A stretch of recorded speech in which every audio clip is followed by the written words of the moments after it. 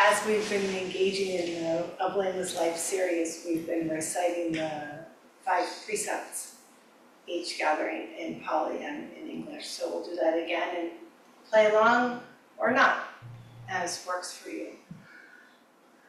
No requirements.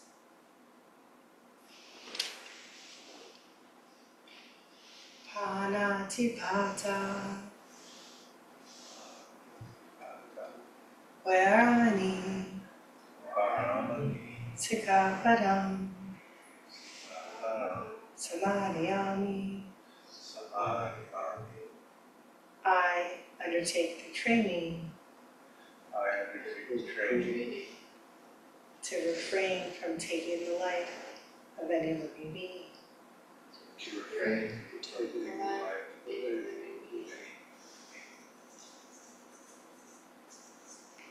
Adina Dana. Where Veramani Sikkhapadam Samadhyami. I undertake the training. I undertake the training. To refrain from taking that which is not offered. to refrain from taking that which is not Kamesu Kamesu Micchacara. Uchachara Veramani Veramani Sikapadam Sikkhapadam Samadhyami. Samadhyami. I undertake the training. I undertake the training. To refrain. To refrain.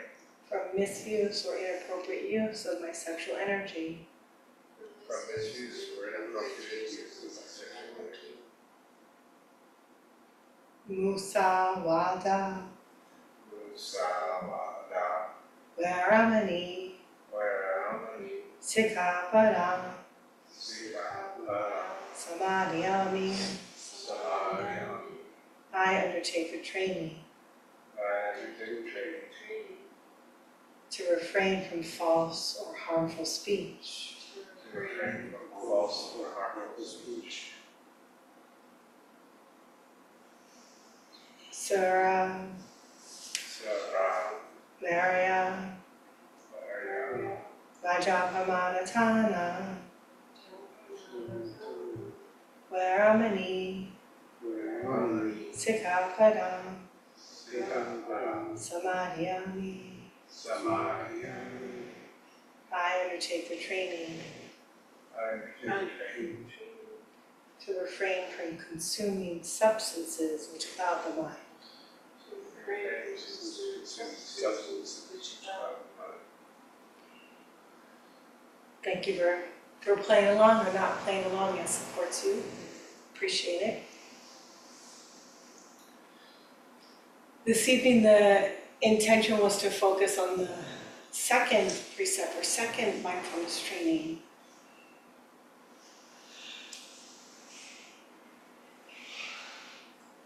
I wanted to read that directly off of a five mindfulness trainings card.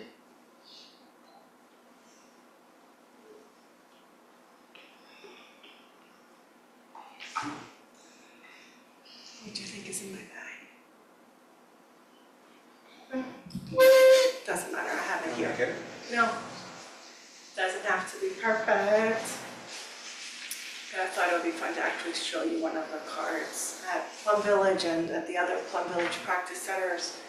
If you receive transmission from, you know, it used to be from Thich Nhat Hanh, but you know, from any of the monastics, if you receive transmission of the five mindfulness trainings and you make a commitment to practice with them, you get a cute little card.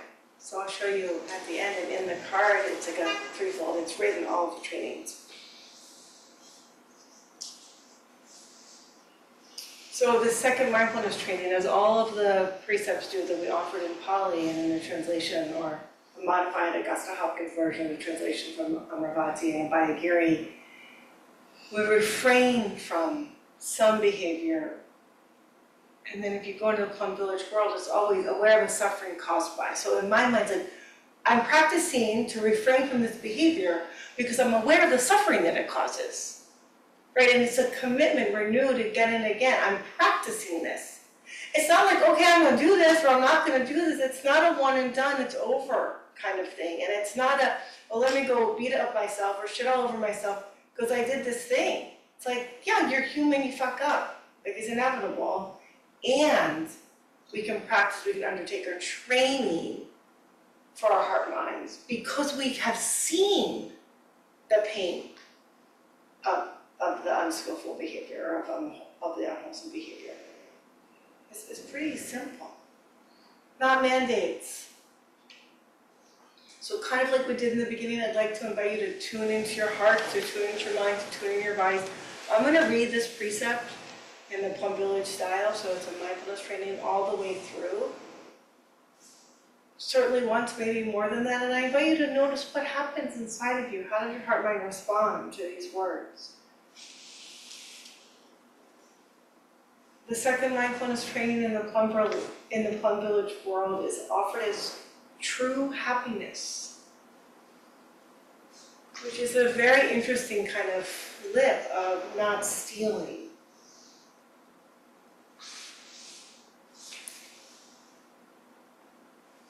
The five training precepts as modified by Ajahn Amaro, uh, a senior monk in the Ajahn Chah lineage, by Giri Amaravati that I mentioned a moment ago.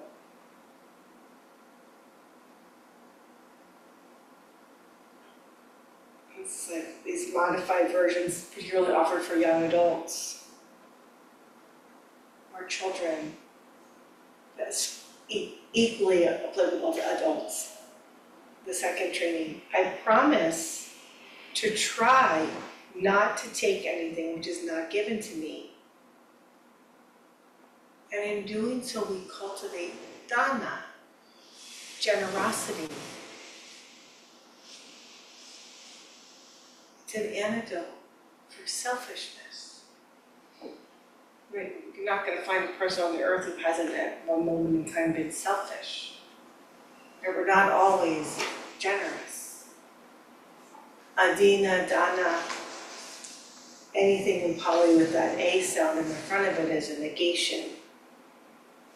It's like, not gonna take the away, not gonna take what hasn't been offered. And I just wanted to lift up that. It's also a cultivation of generosity.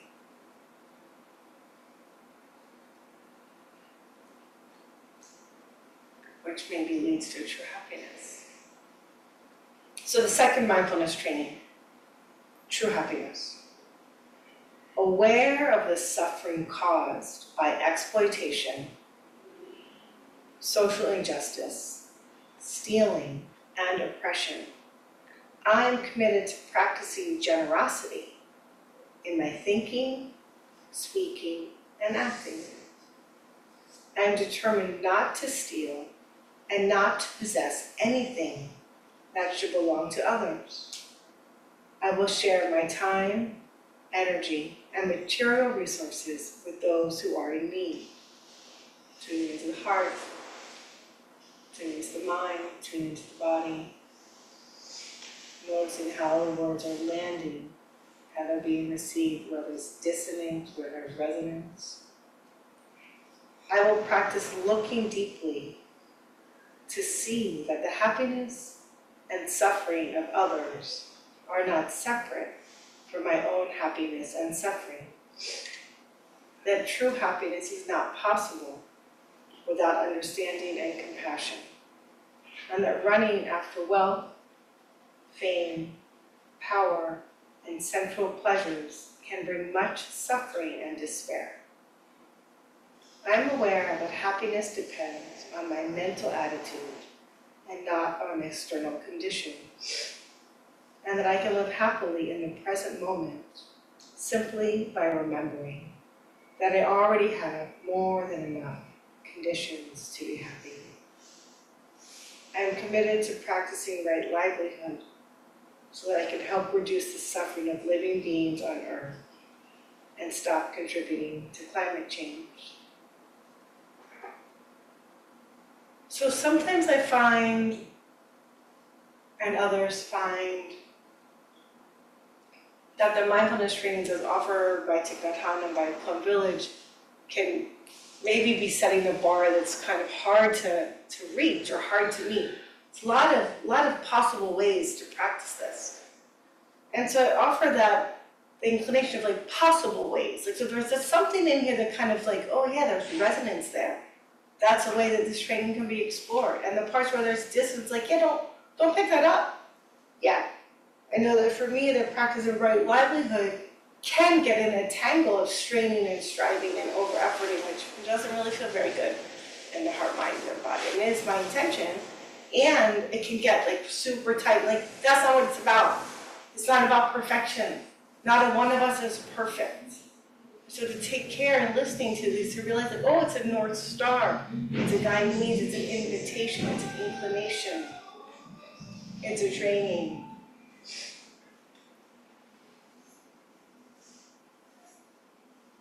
And the idea of practicing generosity, practicing generosity in my thinking, speaking, and acting. Just the idea of that feels good in my heart. Like, yeah, I try, and then I fuck up, like I'm a human. But I'm practicing it. I'm practicing it. And that intention to practice, that intention to practice like that feels good in here. That desire to contribute in a wholesome way. I find that for this, this heart mind to think about not doing something kind of evokes that thing I'm trying to not do. And so that if I can incline towards, oh, what am I wanting to cultivate? Oh, cultivating generosity. I can feel that in my body. What happens for you? I can feel lightness in my body and expansion. Maybe a little, a little bit of joy of like, oh yeah, that, I'm interested in being generous. And luckily, at least in this moment, when the mind doesn't go on to this like list of ways that I haven't been generous recently, like that's not really forward leading. But sometimes the mind does that too, right? It wants to go to the negative, there's a negativity bias, and that's your also conditioned.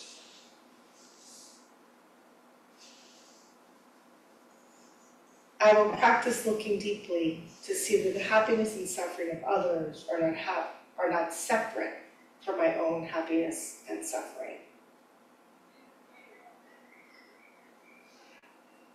I feel like that can be taken to mean like, oh, I should make sure everyone else is okay.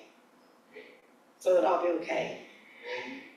But it can also be tuned into like the opposite. I need to make sure that I'm okay. So that my interactions with others, they are also okay. Because if I'm not okay, I am not skillful. I'm interacting with someone else, I'm impacting them adversely. So, oh, there's this way that we're generous toward the world and towards others by tending to ourselves.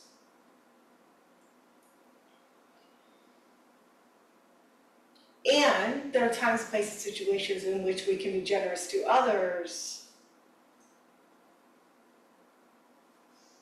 and kind to others and caring to others in a way that then can help them to be generous or kind and caring to others and a, beautiful positive feedback loop can can be occurring.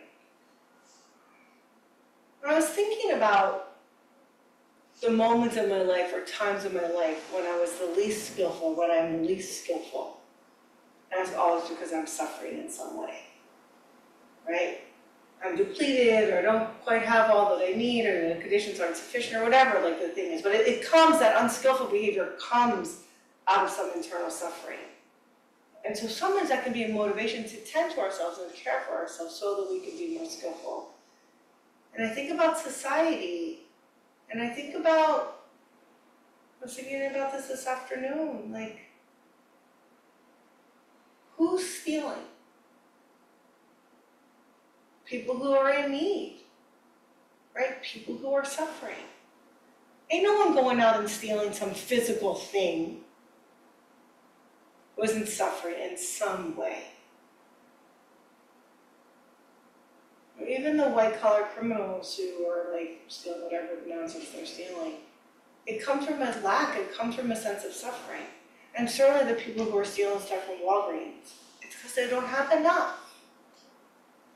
Right? It's rooted in suffering. It's not because there's something wrong with them as an individual. It's because their basic needs aren't being met, because there's a suffering inside, and I feel like one of the greatest ways that that suffering manifests for me these days is really rooted in, in whiteness and rooted in this capitalist culture that's constantly saying, you're not enough. You need more. You need to do more, be more, have more, get more. And it feeds this like, let me go get, let me get me some. Like it feeds this compulsive grab, whether it's a land grab or money grab or an attention grab. It's like, it's a kind of stealing. It's a kind of stealing of our sanity, of our serenity, of our contentment. No, no, no, look over here. Buy this new shiny thing, then you'll feel better. So I feel like that's probably the greatest stealing that's going on today, is this stealing of our own ease that we could have if we lived in a society and a culture that was making sure that everyone's basic needs were being met.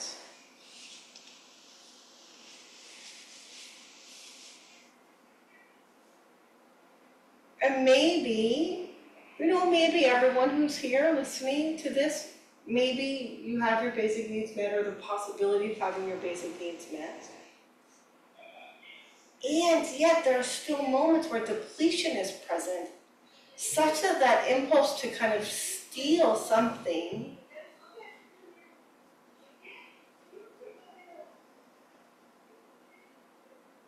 to grab something, to get something, so that you can feel better, still arises. So if you notice that, I invite you to tune in to recognize, oh, what need, or is there a need inside of me that's not being met, that I can meet? For me, it's often coming back to something really basic of hungry, angry, lonely, tired. It's like, oh, I need to eat something, or I'm thirsty, or I'm hot. I've been hot the last couple of days. I'm not used to 77 degrees or 97 degrees. Like it's been way warmer in San Francisco than it usually is. And my system has acclimated to this climate and it's hot and I'm uncomfortable. Right? Causes and conditions, like that's what happens.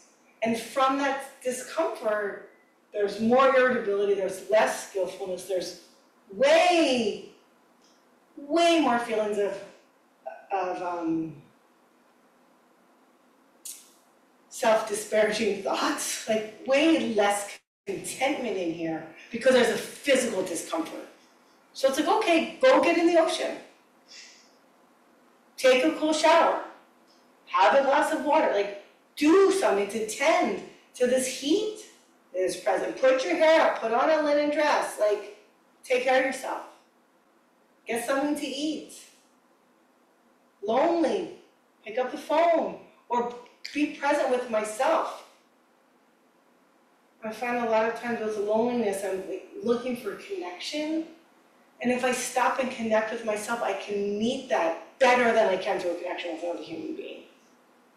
Because the uh, humans are also imperfect humans, and they're not satisfactory. Up the way I want them to, all of the time. They can't. And maybe there isn't something wrong with that. I don't make a problem out of that, but I can learn to show up for myself. I can learn, I am learning, I am practicing to connect with myself. And then sometimes I'm just tired, and I'm not sleeping well enough because of the heat, so yeah, I'm more tired. So then I cut myself some slack. Oh yeah, you're tired. You're not at your best. You're not your most skillful. It's okay. And if there isn't the layering on of the shitting on myself, then I don't feel worse. It's like, oh, I'm just tired. Okay. And that's freedom, like that's ease, that's available to us. We don't buy it. You know, we don't buy the grab or the internal that makes us want to do some grabbing of our own.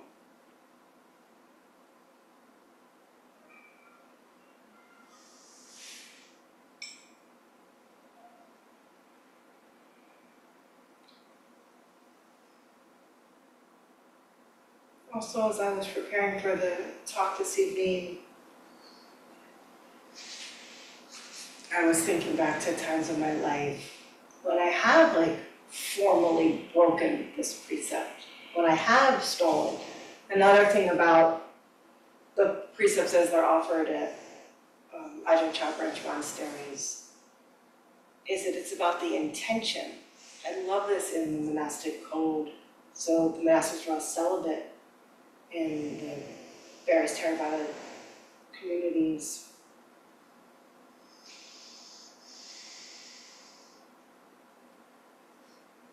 And the monks, but everyone's fully cisgender in this space, it's a little bit of a challenge that they're navigating, but so I'm not gonna try to have that conversation at the moment, but so just assuming they're also, everyone's cisgender.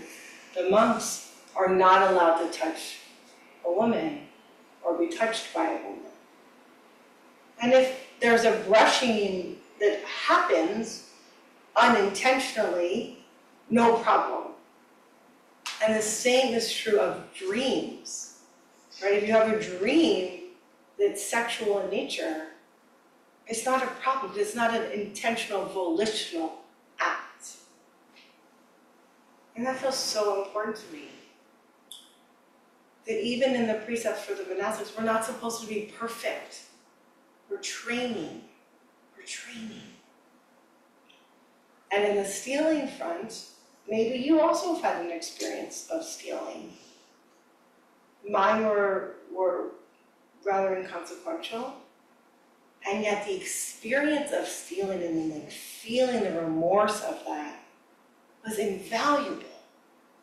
I learned from that. So the first one was when I was pretty little, I don't know, seven, five, something like that. And we were at a, was with my mom, I, and a couple other people, I think, we like this like deli diner in Philly. And I saw some money sitting on the table as we were walking out. And I was like, oh, I'm just gonna take that money. I, I could, I could have a little, I must have spending money, you know? And I don't know, I don't think more than a couple of minutes passed. And there was like, recognized that I had taken the money and I was reprimanded for taking the money. And I had to put it back and like, like I didn't even know I was doing anything wrong. Just like, oh, there's some money there. I could use some money. And I took some money. and they're like, no, no, no. That's someone else's money. That's a tip. You need to go put that money back. And so I went through that whole process and I was young and I wasn't reprimanded. I wasn't shamed. I was just shown, no, that's not cool. This is how we do it. And I love when their trainings can be held in that way. Because we don't need to be slapped on the wrist. We don't need to be shamed and blamed. Like, it's not forward leading. That's not wholesome. That's not beneficial. But touching into the remorse of an unskillful action, that can be quite forward leading. Like, recognizing, oh, yeah, that doesn't feel good. If we can do that without then layering on shame and blame. And then the other time was in high school.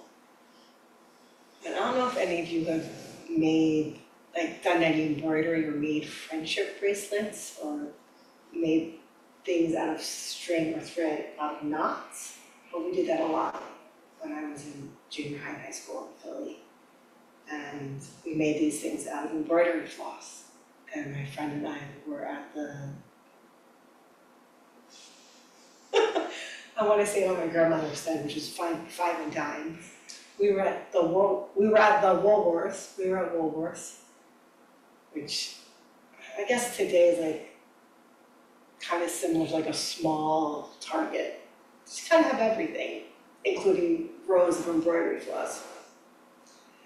And we stole embroidery floss, and we're like, or at least I, I don't know what she was doing, but I was like having all kinds of feelings about it. And can I tell you, embroidery floss costs like seventy-eight cents. It's like ridiculous. But maybe it was like a coming of age experience, I needed to try it out. But I felt so uncomfortable about it that I gave myself away. And so the security guard found us, and like caught us at the door and like sent us back in and we had to go and talk to these people and it was so awful. It was so horrible. It was the smallest thing. Like the action that I was engaged in was like such a benign action, was writer's loss. But the underlying like, I'm gonna take something. Oof, so not good feeling. So not good feeling. And, you know, I feel fortunate that I have had my basic needs met. Or I haven't needed to steal something in order to meet my basic needs. But I get it. I get that. I understand that. I do not blame anyone for doing that. Like, yeah, shit is fucked up. And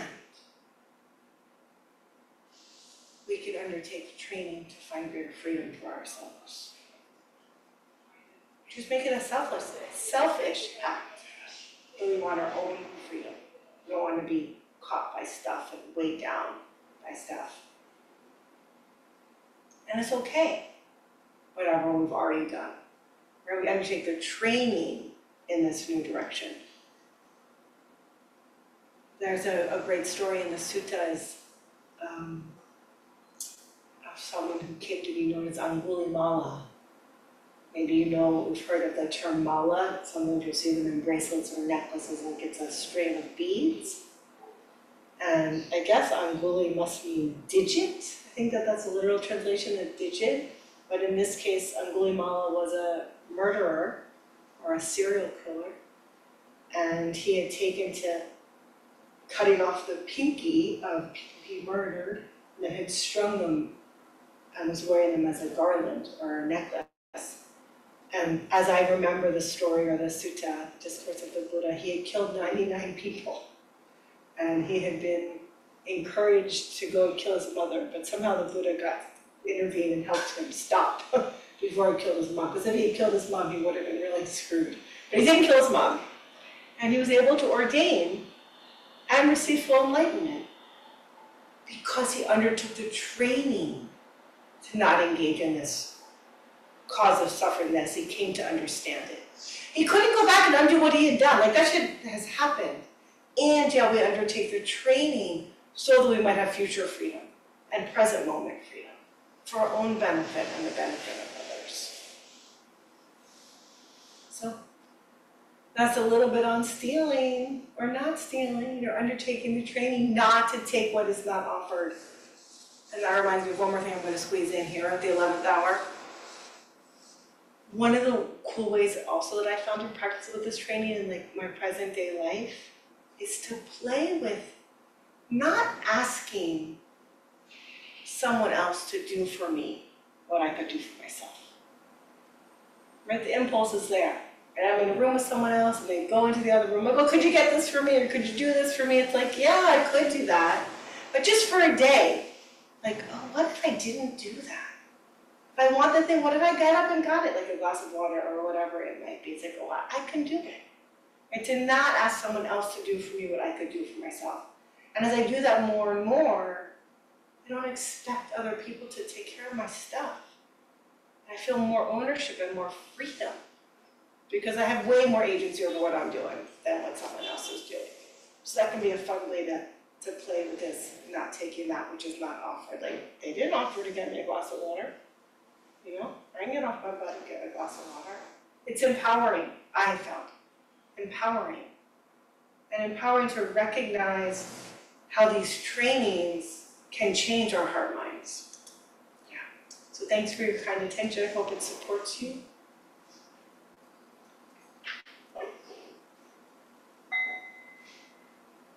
May the fruits of our practice, remembering that it's a practice, not a perfect, may the fruits of our practice be of benefit to all beings and bring peace and liberation to all.